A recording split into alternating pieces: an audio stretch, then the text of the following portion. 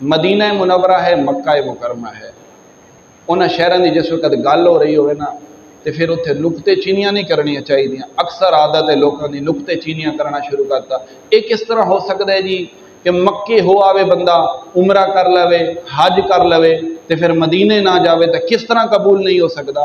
میں کہتا ہوں میں دستاؤں قبول اس طرح نہیں ہوتا کہ اللہ تعالیٰ دے نبی علیہ سلا تو نے ارشاد فرمایا ابھی ہاں تھی یا کوئی بھی مسلمان ہے ਮੱਕੇ ਦਾ ਅਗਰ ਹਜ ਕਰਨ ਦਾ ਇਰਾਦਾ ਰੱਖਿਆ ਹੈ ਉਮਰਾ ਸ਼ਰੀਫ ਕਰਨ ਦਾ ਇਰਾਦਾ ਰੱਖਿਆ ਹੈ ਉਸ ਉਮਰੇ ਤੇ ਹਜ ਤੇ ਜਾਣ ਦੀ ਉਹਨੂੰ ਖਾਹਿਸ਼ ਕਿਉਂ ਪੈਦਾ ਹੋਈ ਜਾਣ ਦੀ ਜ਼ਰੂਰਤ ਕਿਉਂ ਮਹਿਸੂਸ ਹੋਈ ਔਰ ਉਹ ਜਾਂਦਾ ਕਿਉਂ ਪਿਆ ਹੈ ਉਸ ਘਰ ਦੀ ਹਾਜ਼ਰੀ ਕਿਉਂ ਆਪਣੇ ਵਾਸਤੇ ਕੀਤੀ ਬੈਠਾ ਹੈ ਉਹਦੀ ਵਜ੍ਹਾ ਕੀ ਹੈ ਉਸਦੇ ਦਿਲ ਦੇ ਅੰਦਰ ਕੀ ਖਾਹਿਸ਼ ਹੈ ਕਿ ਮੈਂ ਹਜ ਕਰਾਂਗਾ ਉਮਰਾ ਕਰਾਂਗਾ ਰੱਬ ਤਾਲਾ ਮੈਨੂੰ ਕੀ عطا ਫਰਮਾਏਗਾ ਇਸ ਦੇ ਬਦਲੇ ਉਹ ਬੋਲੋ ਤਾਂ ਸਹੀ ਹੈ ਨਹੀਂ ہے نہیں کی عطا فرمائے گا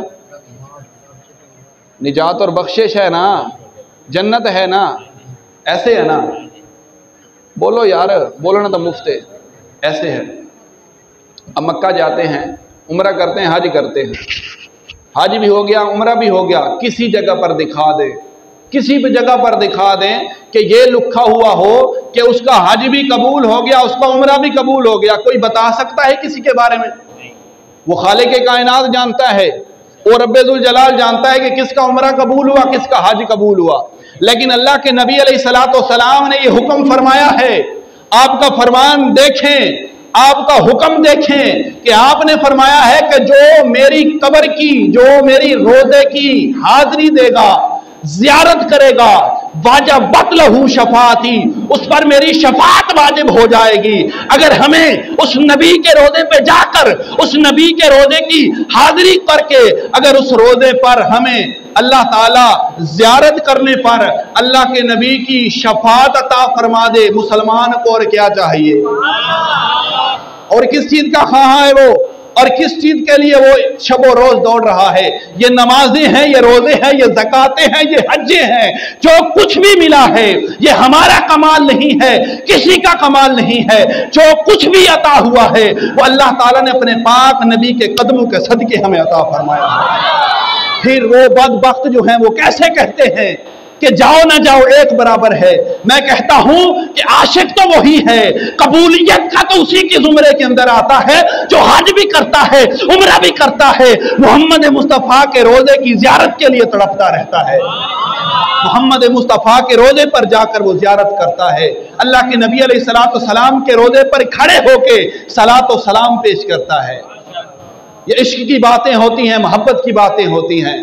آرام سے بھی کی جا سکتی ہیں، لیکن جو عشق ہے سینے کے اندر، بعض باتیں ایسی ہوتی ہیں جو آرام سے بیان کی جا سکتی ہیں، ہو بھی جاتی ہیں، لیکن جو جوش اور ولولے کے ساتھ، جو محبت کے ساتھ بیان کی جاتی ہیں، اللہ تعالیٰ نے اس کے اندر اثر بھی زیادہ رکھا ہوتا ہے یہ ہر کسی کی اپنی محبت ہے، ہر کسی کا اپنا ذوق اور شوق ہے۔ اللہ تبارک و تعالیٰ سے دعا ہے کہ اللہ تبارک و تعالیٰ آپ سب احباب کو مجھ سمیت اپنے پاک نبی کے ساتھ حقیقی محبت، ایک ہے لوگوں کو منہ دکھانے کے لیے، اے یہاں سے اوپر تک محبت۔ حقیقی محبت وہ ہے، دلی محبت وہ ہے کہ انسان کے جسم کے ہر ہر حصے، انسان کے جسم کے ہر ہر لو کے اندر بھی محبت مصطفیٰ کا اثر ہونا چاہیے۔ محبت مصطفیٰ کا اثر تبھی ہوگا کہ جب ہم اپنے آپ سے باہر نکلیں گے۔ ہم نے تو اپنے آپ کو اپنے تک محدود کر لیا ہے۔ حضرت علی المرتضی شیر خدا رضی اللہ تعالی عنہ۔ آپ کے بارے میں آتا ہے نا؟ کہ آپ کسی جنگ کے اندر شریک ہوئے، دشمن پر بالکل وار مکمل ہو چکا تھا۔ قریب تھا کہ دشمن کا گلا کاٹا جاتا، کٹ جاتا۔ تو آپ نے اپنی تلوار کو پیچھے کیا۔ تلوار کو پیچھے کرنے کی وجہ کیا تھی؟ کیا وجہ تھی؟ آپ نے کیا جملہ ارشاد فرمایا؟ آپ نے فرمایا کہ پہلے میں تجھے دین کی خاطر جو ہے ختم کر رہا تھا۔ پہلے دین کا معاملہ تھا، اب تو نے مجھ پر تھوک دیا ہے۔ اب اگر علی تجھے قتل کرے گا شہید کرے گا تو معاملہ ذات طرف آ جائے گا۔ معاملہ ذات کا بن جائے گا کہ علی نے اسے اسی لیے قتل کیا ہے، ختم کیا ہے کہ اس نے علی کے منہ پر تھوکا ہے۔ جا میں تجھے اللہ کی رضا کی خاطر آزاد کرتا ہوں، چھوڑتا ہوں۔ جب دین کی بات آ جاتی ہے، اس وقت محبت مصطفیٰ صلی اللہ علیہ وسلم ہو، یا اللہ تعالیٰ کے پاک نبی کی محبت ہو، یا رب ذوالجلال کی محبت ہو، پھر وہ اس پر حاوی ہو جاتی ہے۔ پھر ہر طرف یا اللہ تعالیٰ کی محبت نظر آتی ہے، یا اللہ اللہ کے محبوب کی محبت نظر آتی ہے۔ اللہ تبارک و تعالی ہم سب کو